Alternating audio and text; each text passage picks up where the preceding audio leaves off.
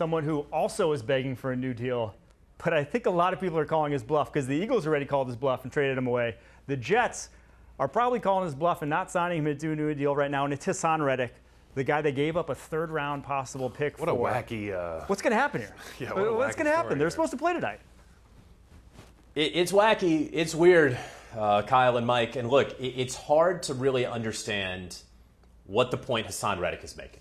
If I can just be honest with you, because right now he has been fined an NFL mandated about $5 million. Uh, when you take into account the three preseason missed games, that's about two and a half million. When you take into account uh, the practices uh, and some other things, that's another two and a half or so million. So we are at $5 million right there. Tonight, against the San Francisco 49ers, he will lose out on a game check that is just shy of $800,000.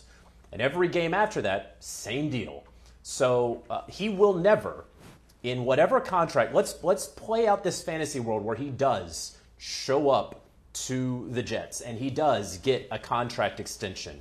Uh, and guaranteed money, and he is paid like the fantastic pass rusher that he has shown to be over the past four or five years he will not make this money back. Uh, he, this is a poor, if we're just talking about just a financial decision, no emotion, no ego, this is a poor financial decision objectively.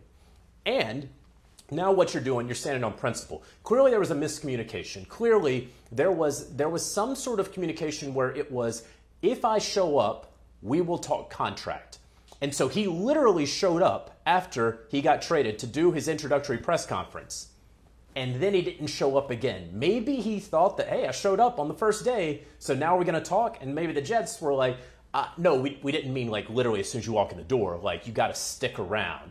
Uh, and so right now the Jets are not going to go crawling back to Haason Reddick no matter the outcome of tonight's game. They're not going to do it. He could help them, they know that. But until he comes into that building and they can actually do productive talks, he will not have a contract offer from the New York Jets. They're saying that, and I firmly believe them. the, best, the best catalyst for an athlete in a situation like this is show him his team without him in, in HD, in 4K. You're going to get to watch a team that's extremely talented, the New York Jets, and Haason Reddick is not going to be on the football field. And to your point, he's a great pass rusher, a guy that can really help this be a dynamic, complementary style football team. There's nothing harder than watching your team play without you when you know you could be out there. So for Haason Reddick, I hope they can get this deal done or you can get him back in the building. Well, we saw it just last year. Chris Jones on the sideline in the stands Thursday night football, watching his team lose to the Detroit Lions. That gave him all the leverage. I don't think there's any scenario where all of a sudden Haason Reddick has all the leverage here.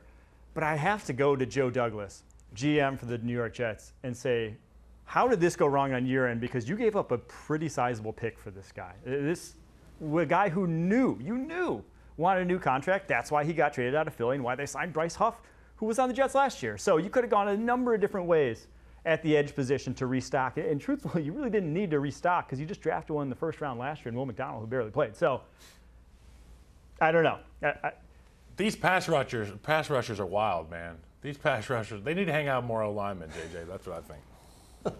They, they should because when I hang out with you, Kyle, you seem to understand and know everything that there is to know about how to go about your business. And I would just say this, you know, because the Chris Jones one is a great example of two things. One, Chris Jones and all the money he missed out on, he never made back. Right in that in that revised deal that he wound up getting, as great as he was, he didn't make the money back. So Haason Reddick won't make this money back.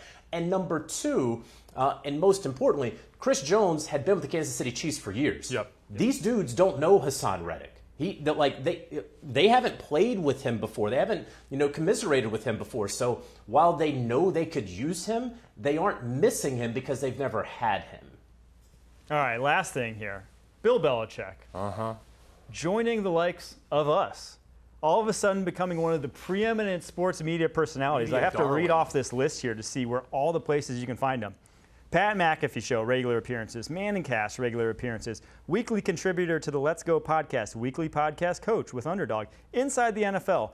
33rd team. And he's on Instagram now. I And he's on the dating scene. he used to make fun of that when he was at the podium back in the day. What's going on here? Does Bill Belichick just have too much time in his hands? it it is a lot of media, right, Mike and Kyle? A lot of media, and it's for a reason.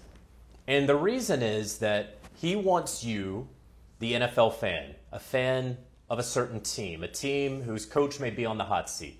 He wants you to see him. He wants you to be loud to your uh, team's owner about wanting him.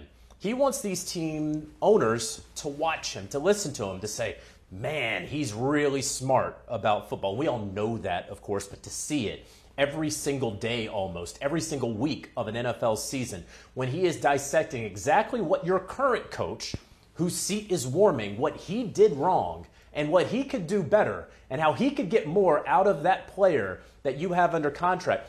That's what's going on here. It's going to be an open job interview every single week for Bill Belichick. That's what sources close to him have said. And then also, he's going to be able to, in a way, reinvent himself just a little bit. Hey, maybe I made some mistakes with the Patriots. Maybe I don't want all this personnel say. Maybe I'm going to be okay without some of it. And let me just coach football. We know He's in his early 70s. He's chasing Don Shula's all time wins record. We understand that he would be a short timer somewhere else two, three, four years as the head coach. And so, if he does that, can he set up the team not only for success in the short term, but will they be set up for success in the long term? Once he leaves, will they be in shambles? Uh, like we thought the Patriots would be until their upset victory on Sunday against the Bengals. So those are all the things that every time that you open up an app or change the channel and you see Bill Belichick sounding smart about sports, it's all about Bill Belichick becoming a head coach in 2025. Yeah, he's a superstar. Make no mistake about it. I mean, my older brother got to play for the Patriots, and it's not often that you hear about a coach more than the the,